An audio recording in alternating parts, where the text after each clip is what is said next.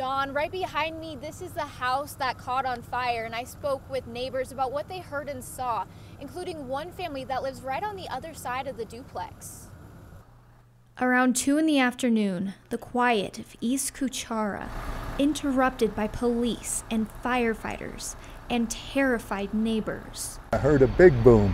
I thought at first it was a shotgun and there was active flames and stuff. Fire was burning through the duplex on the corner.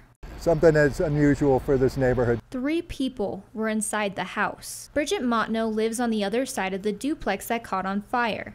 She was emotional because of what she saw next. Um, the little boy, he was on the ground and they were doing CPR on him, and he was just laying there, lifeless.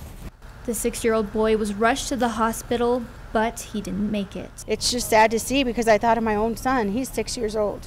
So I was just like, you know, I don't even know how that mom's going to feel. I, my heart goes out to her. Inside, there was also a man who was believed to be their uncle. He died at the scene. But the first thought that went in my mind was, what if my kids were here? What if it crossed over? What if? What if? I mean, life is very precious. We do know that two people did die in this fire and that one is in critical condition, so we will keep you guys updated on that. Live from Colorado Springs, Marin McCutcheons, KKTV 11 News.